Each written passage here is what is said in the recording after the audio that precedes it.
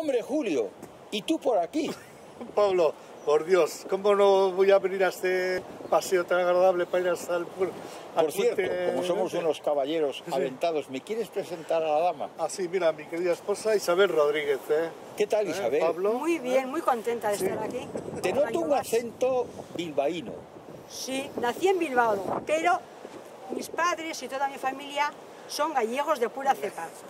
Abuelos, bisabuelos, tatarabuelos, toda O sea que aquello que se cantaba de un inglés vino a Bilbao por buscar el río, eh, la ría y el mar se podría se aplicar podría en tu aplicar, caso. se podría aplicar. A la gallega. Julio, y- y, tú que tienes todo el tiempo libre del mundo? Sí, ¿Cómo es que no estás trabajando? ¿Qué estás haciendo? Ay, yo, yo ahora mismito me estoy dedicando a ella y a, y a venir a estos parajes que lo descubrí hace 18 años. Bueno, 19 ya, ¿no? 18. 18, 19 años. Y, y de tal manera que me quedé aquí. Me encantó tanto que me quedé aquí. Así, sin más, ¿verdad? Compramos un piso y aquí estamos todos los años, los veranos y todo lo que el tiempo nos permite. Entonces se os puede preguntar qué veis en San Ciprián que os atrae. Jo, la verdad es que nos atrae, mira, por lo menos la paz que encontramos cuando llegamos a este pueblo, a este eh, pequeño, bueno, barrio de, de Cervo, porque en realidad es un, un arrabal de Cervo. Bueno, pero encontramos una paz tremenda, unas rías preciosas, unas playas tranquilas, con hermosura, ¿verdad, Y mami? sobre todo su gente. y, las, y los blancos de la arena y, y- y, bueno, todos los paseos que podemos ver. Tenemos ruinas, tenemos un- un- unas calzadas romanas. Allá arriba tenemos el, el puente que tenemos aquí medieval. Tenemos, eh, eh, o sea, ahí arriba en el, en- en el faro eh, tenemos allí una que descubrieron hace poco un castro precioso que todavía, que es lamentable que todavía no lo hayan limpiado, no lo hayan ac- accidentado, pero es precioso, no solo, tanto la playa de la, de, de- de la Rubén, la, la playa de Otorno, la playa de Cubetas, la, bueno. La Marosa, Amarosa, o sea, ¿qué más cosas? la Caosa. La Caosa, perdona, la Marosa, la Caosa, no, que la es Caosa es la de Burela. Es de Burela, es de Burela, perdón. sí. Pero bueno, como tenemos un paseo tan bonito desde San Ciprián hacia Burela, ¿eh? entonces también como nos encanta toda esa parte del mar, las rocas, un rompeolas excelente, ¿no, mami? A mí ¿Eh? personalmente me gusta el paisaje, Paisaje, el paisaje y la gente, sí, que es maravillosa, muy hospitalaria, eso. mm, estupenda. Y- Y luego los paisajes que son, vamos, maravillosos. No, mar- de mar- novela, de película y de todo. Mar, mar y tierra y, y- y el viento este que hace. Que es maravilloso, que dice que enloquece, y no me extraña que enloquezca, porque nos ha enloquecido a los dos para venir a, a pasear por estos lugares, ¿verdad, mami? Sí, sí. Eh, Que nos encantó y nos hemos quedado aquí, hemos cogido el pisito, llamé a mi hermana, le invité a mi hermana a venir a este pueblo, se compró piso, vive aquí. Bueno, 10 pisos hemos vendido nosotros desde que estamos aquí. Porque hemos traído a gente de Bilbao que nos van a llamar que, han, sin que se han quedado aquí, a, han- vamos, han venido, se ha gustado tantísimo el pueblo que han comprado un piso y se han quedado aquí también. Mis consuegros, Los vecinos. los vecinos nuestros de allí, 36 años viviendo con él allí, con mis vecinos, invitarles aquí a un, a un Cármenes y, y que- queda- quedarse en septiembre. Oye, Julio, ¿me puedo volver a, a ir ahí al pueblo a ver en septiembre? Tal? Pues sí, además tienes muy buena zona y tal. allí, pues vete. Vino para aquí y en, ese, y en enero ya me han comprado piso. Les ha gustado a todos. O sea, me van a llamar canalla por traer gente de fuera. No. Tradicionalmente, este pueblo, que es un puerto de mar histórico, las tripulaciones que mejor se llevaban eran los de aquí con los vascos. O sea que de alguna manera lo que estáis contando forma parte de las raíces típicas de gente que miramos al mar, al mar Cantábrico. Sí, de verdad, además, de verdad, de verdad. Cuando estáis en Bilbao, eh, ¿notáis la falta del mar? ¿Notáis la falta del viento mareiro que decimos? Del ¿O vais a viento- buscarlo del por allí? viento sí, pero del mar no, porque lo tenemos muy cerquita. Lo tengo a 500 metros, la ría de Bilbao, la desembocadura del Abra, Vivimos en la margen derecha, con lo cual todo estuario aquel desde que casa tenemos vemos allí, la ría entonces, nosotros también, la ría del Nervión. Sí, la No, construcción. el mar no echamos de menos, porque allí también No. tenemos muy bonitas playas. Pero sí echamos de menos pues, que esto es más familiar, la gente se conoce, Eh. allí cada uno va más a su, a su aire. Aquí también, pero eh, No, pero es más... es igual que ir por la calle y decir hola, hasta luego, adiós. Lo que se ha quitado la costumbre de, de- de toda la vida, de decir hola, hasta luego, adiós. O sea, allí ya no puedes decir porque hay tanta diversidad que, que- y aquí puedes decir cuando paseas, te- además de, de un lado a dice, "Buenas otro. tardes, buenos "Oh, días". Adiós, hasta luego, pero Y ahí eso no. ahí no, no se puede. No está tan arraigado, ya se ha, se ha separado. Y aquí, viejo, ahora mismito cuando nos has pillado, íbamos para el puente romano, para el puente, llamamos romano, pero es el, el- puente. Vimos las, las- las- el paseo de antiguo de las piedras para pasar a la otra parte de Aleiro, por ejemplo, que, que- que se queda uno diciendo, jo, ¿y esto por qué estaba así, no? Hasta que te vas enterando después de los años que esto corresponde al paso antiguo de los romanos, de tal, que no había y tal. paz que hay aquí en este pueblo. Yo se duerme muy bien. Allí en el verano hay quien lo aguante. Esta es la paz que dice Elisa. Bilbao, aparte de ser una ciudad señorial y de tener un puerto extraordinario, se caracteriza por dos cosas. La gente canta muy bien y la gente come muy bien. Eso sí. Eso sí. Y además, Julio, tú eres un gran cocinero. Sí, Eh, sí. ¿qué, qué te parece la gastronomía que tenemos aquí en La Mariña y concretamente en San Ciprián? Pues la verdad es que es muy variada y muy, muy buena. Sí, sí. Nosotros eh, hemos eh, elegido, tenemos platos en casa El producto gallego a mí me que, encanta. que lo, lo preparamos. lacón. Sí. La oreja, el pulpo, Pues, los cacheliños, muchas cosas. no, apa- aparte de eso hay otra cocina también, ¿no? El caldo. Bueno, el es- caldo a mí no me gusta. aunque No le gusta gusta a ella, pero bueno, a mis chavales sí. ¿no? Les gusta a todos. Pero eh, esa gastronomía la, la- la desarrollo bien aquí. Ya, ya no es como él, pero yo hace ya más de cinco años que lo he dejado. Me he retirado, ya estoy jubileta. Hay un producto típico de todo el Cantábrico. Sí, bueno, sí, dos, sí. dos. Uno es el marmitaco, es decir, el bonito. Y otro es lo que llamamos el bocarte, que se convierte en anchoa. Mm, ¿Qué opinas tú de esos dos príncipes de la cocina? Desde luego, lo que vamos a decirle al bonito del norte, el atún blanco, que es precioso, además es el príncipe. ¿Eh? Es verdad que es el príncipe del Cantábrico. Desde que llega en junio hasta que termina en octubre, que es cuando se puede pescar por, por la zona del Cantábrico este tunido, pues la verdad es que los platos que se pueden desarrollar de ellos son tan variados y tan, tan diferentes que da gusto hacerlos. Y luego hablamos de la, de la- del bocarte, de la anchoa, que tenemos, yo desde luego siempre he tenido una buena ah, degustación a la gente cuando yo lo preparaba, que si venían mucho a la cafetería era por, por el bocarte que yo les preparaba, así con ajito, perejil, aceite, vinagre y tal, ¿no? Buen aceite de oliva. Aceite de oliva. Que menos. Aceite de oliva. Y entonces, pero aparte, hay muchas cosas, eh, hay muchas cosas. Pero para hacer el marmitaco, un buen marmitaco con un buen bonito del norte blanco, es os chapó. Ya no solo la preparación, que es muy simple por sí, porque la cuna de ese, de ese producto es de- para hacerlo es igual para todo. Pimiento verde, pimiento rojo, ¿eh? cebollita, un poco de ajo, un, pico- un poco de vino blanco, pimiento choricero, pimiento... eh, o sea, que esa es la base de todo. Hacemos esa base primero, patata y bonito. Ya está, el- elemental. ¿Desde cuándo y por qué sois aventados?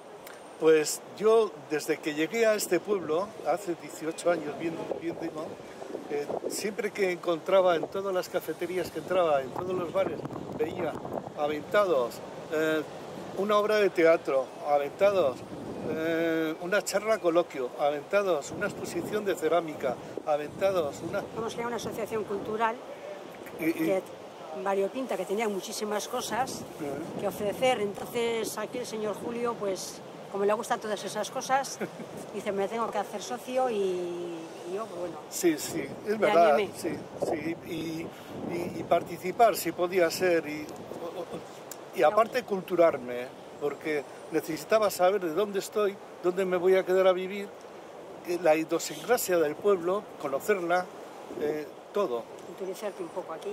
todo, todo. Es decir, ver cómo se fabricaban ahí los barcos en, en la carpintería, Que eso le encanta.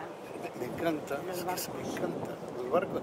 Yo en casa tengo una- un perfil lleno de cuadros de barcos, de cosas del mar, subido un día a casa. precioso, ¿no? Y, y eso me llama mucho la atención y, y no sé, o sea, es que no hay palabras para, para de- definir ver todo esto, que es, es muy poco lo que estamos viendo a lo que en realidad es. Mm, Tenemos nostalgia. Yo cuando me marcho de aquí le digo a Isabel, oye, déjame una semana irme para San Cipriano. Y me dice que no, porque andamos con cositas y tal, y la verdad es que no, no podemos hacer muchas cosas. Pero sí nos quedamos con ganas. Nosotros, antes de, de- de caer enfermos, pues veníamos en el mes de, eh, de Semana Santa, nos íbamos en octubre para casa, ¿verdad? A Bilbao. Sí. O sea, todo este tiempo lo dedicamos aquí porque estábamos con mucha paz, con mucha tranquilidad. Y como los hijos ya no llaman a la puerta, afortunadamente, ¿eh? ¿Verdad, mami? Pues Los romanos, que eran muy sabios, era un pueblo muy, muy avanzado, decían que la talasoterapia, es decir, el mar, las aguas de mar que lo, cuida- que lo curaban casi todo. ¿A vosotros os pasa eso? Que cuando venís a San Ciprián y notáis esas gotas de, de agua salada que están en el ambiente, que os encontráis mejor, que estáis... que esas, esas Hombre, enfermedades a que mí el tienen... mar me produce mucha paz. Cuando me siento arriba en el faro, en el mirador, cierro los ojos y escucho el, el- el mar, rompe. mm, vamos, me quedo súper relajada. Me voy a casa súper feliz, súper a gusto. Digo, "Jo, qué bien he estado en este ratito que he estado ahí Sí, arriba. sí, sí. Me relaja mucho. El mar a mí me relaja mucho. no, mucho, mucho. Yo creo que no podía vivir sin el mar.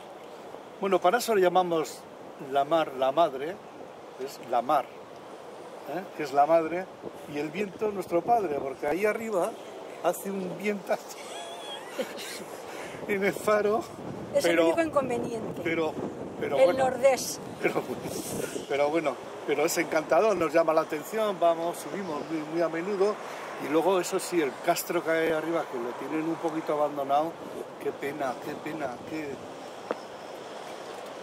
qué trabajo. Si tuvierais que quedaros con una cosa muy hermosa de Bilbao y una cosa muy hermosa de San Ciprián, ¿qué dos cosas elegiríais? A ti te cedo la primera palabra. Es que, a ver, yo he nacido allí. Son diferentes. Mis hijos han nacido allí. A mí aquello pues me llama mucho. Pero también mis raíces gallegas, lógicamente, pues también me llama esto. Entonces, de- recorriendo la costa lucense, el pueblecito que más me ha gustado ha sido este, Sí, que en él me he sí, quedado. sí, sí. Y he hecho en falta, bueno, pues de aquí añoro mucho la gente, la tranquilidad, el paisaje y los paseitos, que es todo llanito para poder andar. Es lo que más he hecho en falta. Y ahí en Bilbao, bueno, pues eh, a la familia y a los amigos, básicamente. Pues esto eh, cuenta Isabel, pero yo la verdad es que si tengo que... Yo me quedo aquí. O sea, yo allí no tengo ya, una vez que he acabado mi vida laboral, que tanto... Tienes tus, hijos y tus nietos. Bueno, tengo a mis hijos también, pero bueno, quiere decirse que ellos ya han levantado el vuelo, ya, ya han hecho su vida. Oye, yo, yo ya he cumplido como padre, les he dado sus pautas, también bien colocados, bien de todo. Yo no puedo pedir otra cosa más que tengan su buena paz y yo me quedaría con esto. ¿eh? Allí, yo soy hombre de tener muy pocos amigos O sea, tengo muchos amigos, lo que no tengo son amigos íntimos de relaciones y tal. Entonces, pues la verdad es que tanto en cuanto allí, aquí encuentro más gente más eh, allegada que, que- que tal. Bien, una última cuestión. ¿Os habéis planteado el que en un momento determinado os vengáis a vivir aquí y paséis las cuatro estaciones del año, los amaneceres y los anocheceres, que seáis capaces de, de ver mm, como hacían los antiguos, esas vagas de mar, esos golpes de mar, que eh, son para limpiar nuestras playas, para limpiar nuestros puertos, o necesitáis también de vez en cuando eh, el ruido del asfalto, ese Guggenheim de Bilbao. no, a vivir de continuo no.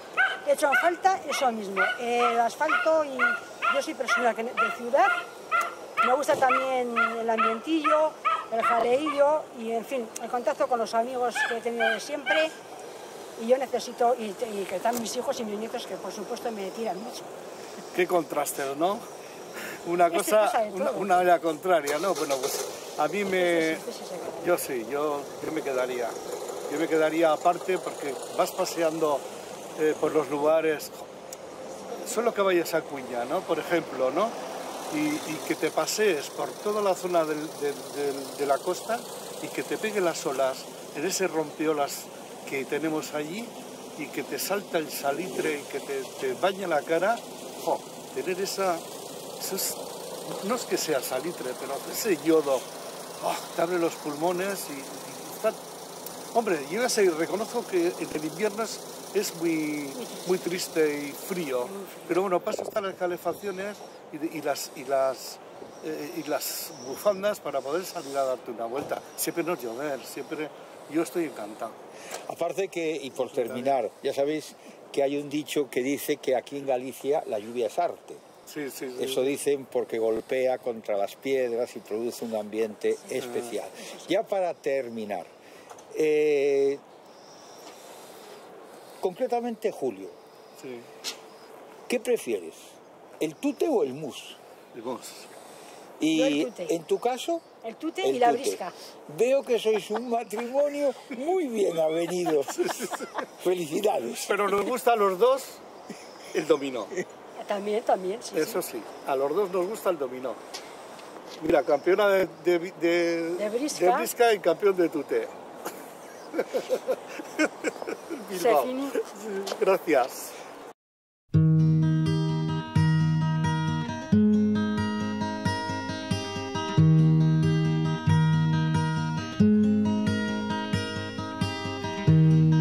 Aí ven o maio de flores coberto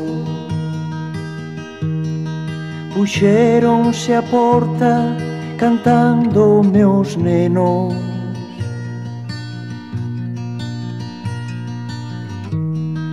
Os puchos furados pra min estendendo Pedironme crocas dos meus castiñeiros.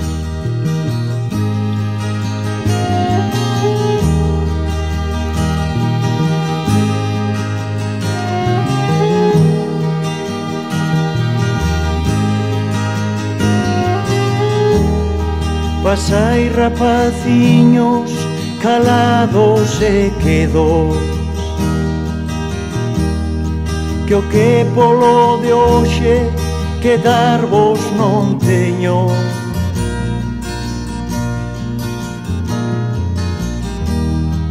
Eu son vos o prove o povo galego.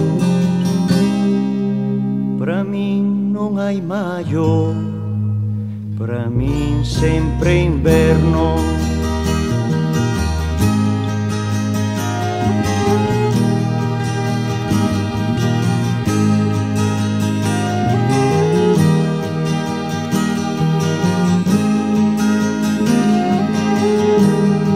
Quando eu me atopare de donos liberto.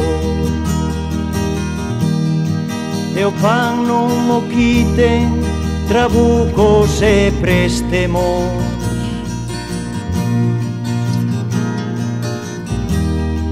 E como os do abade floreza meus eidos Chegado abrantonces o maio que eu quero.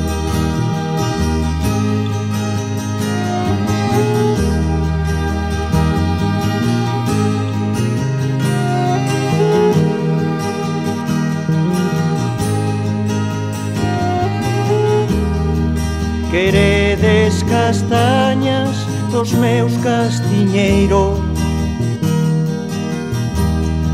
Cantademe un maio sin bruxas nin demos Un maio sin cegas, usuras nin pretos.